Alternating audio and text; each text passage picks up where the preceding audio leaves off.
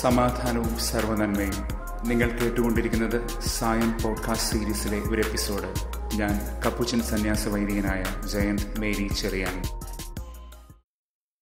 ഹോറബിൽ മോശ നീറിയടങ്ങാത്ത മുൾപടർപ്പ് കണ്ടു. തന്നോട് സംസാരിച്ച ദൈവത്തെ കേട്ടു. അവിടുത്തെ നാമം ജീവൻ തുളുമ്പുന്നതാണെന്ന് ഹയ്യ കണ്ടനുഭവിച്ചു. അവിടുത്തെ നാമം അചഞ്ചലമായി നിലനിൽക്കുന്ന അവിടുത്തെ കാരുണ്യത്തിന്റെ ഉറപ്പാണെന്നറിഞ്ഞു. അത് ചിരകാലം മുഴങ്ങി കേൾക്കണമെന്നും കൈവിടാതെ കാക്കണമെന്നും ഉടമ്പടിയുടെ ഓർമ്മയാണെന്നും മോശ കണ്ടു. പുറപ്പാട് മൂന്ന്. നാം കഴിഞ്ഞ ദിവസം ധ്യാനിച്ചിരുന്നു. ഇന്ന് തന്റെ വ്യക്തിപരമായ ആ അനുഭവത്തെ മോശ ദേശമാകെ തന്റെ ജനത്തിനാകെ പകരുകയാണ്. നിയമാവർത്തനം നാല് ഒന്ന് മുതൽ. മോശ ദൈവനാമം അറിഞ്ഞ ഹോറേബിൽ നിന്ന് തന്നെയാണ് ആ ജനം മൊവാബിന്റെ തലങ്ങളിലേക്ക് യാത്ര തിരിക്കാൻ തുടങ്ങുന്നത്. നിയമാവർത്തനം അഞ്ചാം അധ്യായം മുതൽ മോശ ദൈവിക നിയമങ്ങളെയും പ്രമാണങ്ങളെയും പകർന്നു കൊടുക്കുകയാണ്. ആ നിയമങ്ങളും പ്രമാണങ്ങളും എങ്ങനെ അനുവർത്തിക്കണമെന്നും ഹൃദയപൂർവം കേൾക്കണമെന്നും മോശ ഇവിടെ ആമുഖമായി പറഞ്ഞു വയ്ക്കുകയാണ്. കേൾക്കുക എന്നാൽ അനുസരിക്കുക എന്ന് തന്നെ അർത്ഥം. തങ്ങൾ അവകാശമാക്കാൻ പോകുന്ന ഭൂമിയിൽ ദീർഘകാലം ജീവിക്കാൻ ആ അനുസരണം അനിവാര്യമാണ്. ദൈവിക ഉടമ്പടിയോടുള്ള അനുസരണമാണത് ദൈവകാരുണ്യത്തിന്റെ അനുകരണവും. ദൈവം ഇത്ര സമീപസ്ഥമായ ദൈവത്താൽ സവിശേഷമായി തിരഞ്ഞെടുക്കപ്പെട്ട മറ്റേത് ജനതയാണുള്ളത്. ആ ഒരു ചിന്ത തന്നെ നമുക്ക് ലഭിച്ചിരിക്കുന്ന വരങ്ങളുടെയും ഉത്തരവാദിത്വങ്ങളുടെയും സംഗ്രഹമായി വായിക്കണം. ഇന്ന് സങ്കീർത്തനം നൂറ്റി നാൽപ്പത്തേഴിലും നാം അത് കാണും. യോഹന്നാൻ ആറ് അറുപത്തിമൂന്ന് അറുപത്തെട്ടിൽ പത്രോശ്ലിഹ നടത്തുന്നൊരു പ്രഖ്യാപനവും നമുക്കിന്ന് താക്കോൽവാക്യമായി നൽകപ്പെട്ടിട്ടുണ്ട്. നാഥ ഞങ്ങൾ അങ്ങേ വിട്ട് എവിടെ പോകാനാണ്? അവിടുത്തെ വചനങ്ങൾ ആത്മാവും ജീവനുമാണ്. അവ നിത്യജീവന്റെ വചസ്സുകളാണ് നമ്മോട് സമീപസ്ഥനായിരിക്കുന്ന ദൈവത്തെ വിട്ടുപിരിയാൻ നമുക്കാകുമെന്നാണോ? നശ്വരമായ അപ്പത്തിൽ തുടങ്ങി ജീവന്റെ അപ്പത്തിലേക്കും തന്റെ ശരീരമായ അപ്പത്തിലേക്കും നാഥൻ നമ്മെ വഴി നടത്തിയ ഒരു അധ്യായമാണ് യോഹന്നാൻ ആറ്. നമുക്കും ആ വഴിയെ ഒന്ന് നടന്നിട്ട് തിരിച്ചു വന്നു ചേരാം. സുവിശേഷങ്ങളിൽ വളരെയധികം ശ്രദ്ധിക്കപ്പെടുന്ന ഒരു ഉപമയാണല്ലോ വിധക്കാരന്റെയും വിത്തിന്റെയും നിലങ്ങളുടെയും ഉപമ. നാഥൻ തന്നെ അത് വ്യാഖ്യാനിച്ചു തരികയും ചെയ്തിട്ടുണ്ട്. മർക്കോസിന്റെ സുവിശേഷത്തിൽ ആ ഉപമയുടെ അന്ത്യത്തിൽ നമ്മുടെയെല്ലാം ആത്മീയ അന്ധതകളുടെയും ബദിരതയുടെയും ഒരു ഓർമ്മപ്പെടുത്തലും നാഥൻ നൽകിയിട്ടുണ്ട്. മർക്കോസ് നാല് പത്ത് മുതൽ പന്ത്രണ്ട് വരെ. ഇന്ന് മോശ ജനത്തോട് ദൈവത്തെ കാണണം കേൾക്കണം ഓർമ്മിക്കണം എന്നൊക്കെ പറയുമ്പോൾ ഇതേ ധ്വനി തന്നെയാണ് ഉണരുന്നത്. മർക്കോസിന്റെ സുവിശേഷത്തിൽ ആറ് ഏഴ് എട്ട് അധ്യായങ്ങളിൽ അപ്പത്തെക്കുറിച്ചുള്ള പ്രബോധന ചക്രങ്ങളുണ്ട് രണ്ടെണ്ണം. Bread cycles. അവിടെ ധാന്യം എങ്ങനെ പൊടിഞ്ഞ് അപ്പമായി മാറുന്നു എന്നത് വിവരിക്കുന്നതിനോടൊപ്പം തന്നെ നമ്മുടെ ആത്മീയ അന്ധതകളും കനപ്പെട്ടു വരുന്നതിന്റെ കൂരുകൾ പരക്കുന്നതിന്റെ ഒരു സൂചനയുമുണ്ട് സമാന്തരമായിട്ട്. മർക്കോസിന്റെ സുവിശേഷത്തിന്റെ ബാക്കി ഭാഗമെല്ലാം ഈ ഒരു ആശയത്തിന്റെ വിശദീകരണമാണെന്ന് കരുതപ്പെടാറുമുണ്ട്.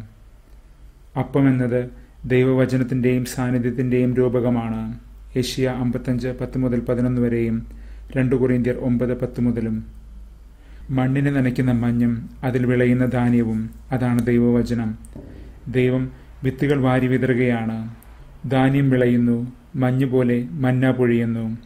ആഹാരത്തിന്റെ സമൃദ്ധിയാണത്. അവന്റെ വചനം തന്നെയാണ് ഈ അപ്പം. ഇന്ന് സങ്കീർത്തനം നൂറ്റി നാൽപ്പത്തേഴിൽ നാം അത് വിവരിക്കുന്നുണ്ട്. ഏറ്റവും സുസ്ഥിരമാക്കപ്പെട്ട സുരക്ഷിതമാക്കപ്പെട്ട ജെറുസലേം നഗരം. കോട്ടകുത്തളങ്ങൾ ഉള്ളതുകൊണ്ട് മാത്രം പക്ഷേ നഗരം പൂർണമാകില്ലല്ലോ. വിശപ്പടക്കാൻ അപ്പം വേണം അതിന്. ദൈവം അതുകൊണ്ടാണ് സമൃദ്ധമായി അവിടെ അപ്പം വിളമ്പുന്നത്. ഭൂമിയിൽ ദീർഘകാലം ജീവിക്കുക എന്ന് പറയുമ്പോൾ ഈ അപ്പത്തിന് കൂടുതൽ പ്രാധാന്യം കൈവരുന്നുണ്ട്. അത് നമ്മുടെ മാത്രമല്ല എല്ലാവരുടെയും വിശപ്പടക്കാൻ പര്യാപ്തമാകണം. അപ്പോൾ മാത്രമേ സുവിശേഷത്തിന് ഈ ഭൂമിയിൽ പൂർണത കൈവരിക്കാനാകൂ. സുവിശേഷം ആത്മാവിന്റെയും ശരീരത്തിന്റെയും വിശപ്പടക്കാൻ നമ്മെ പഠിപ്പിക്കണം. ഈ വാഗ്ദാനം പേറുന്ന ഏറ്റവും ആദ്യത്തെ കൽപ്പന മാതാപിതാക്കളെ ബഹുമാനിക്കണമെന്നതാണല്ലോ. പുറപ്പാട് ഇരുപത് പന്ത്രണ്ട് നിയമാവർത്തനം അഞ്ച് പതിനാറ്. അത് വളരെ പ്രധാനമായ ഒരു കൽപ്പനയുമാണ്. എഫ് എ സിയർ ആറ് ഒന്ന് മുതൽ മൂന്ന് വരെ ഭൂമിയിൽ ദീർഘകാലം ജീവിക്കാൻ അത് നമുക്ക് ശക്തി പകരുന്നു. എന്നാൽ ഏറ്റവും ചെറുതെന്ന് കരുതപ്പെടുന്ന ചില നിയമങ്ങളുമുണ്ട്. ഉദാഹരണം നിയമാവർത്തനം ഇരുപത്തിരണ്ട് ആറ് മുതൽ ഏഴ് വരെ ഒരു പക്ഷിക്കൂട് എങ്ങനെ കൈകാര്യം ചെയ്യണമെന്നാണ് നമ്മെ പഠിപ്പിക്കുന്നത്. അവിടെയും കാണാം ഈ വാഗ്ദാനം. നിങ്ങൾ ഭൂമിയിൽ ദീർഘകാലം ജീവിക്കേണ്ടതിന് ഇതുപോലെ ചെയ്യുക എന്ന്. വായിച്ചപ്പോൾ മനസ്സിൽ കൂടി ഒരു ഇടിവാൾ വെട്ടിയതുപോലെ. വലുതും പ്രയോജനകരവുമെന്ന് കരുതി നാം ഒതുക്കിക്കൂട്ടി വെച്ച് തഞ്ചത്തിൽ പാലിക്കാമെന്ന് കരുതിയ പിക്ക് ആൻഡ് ചൂസ് നിയമങ്ങളുടെ ആധ്യാത്മികതയല്ല ഇവിടെ വിഭാവനം ചെയ്യപ്പെട്ടിരിക്കുന്നത്.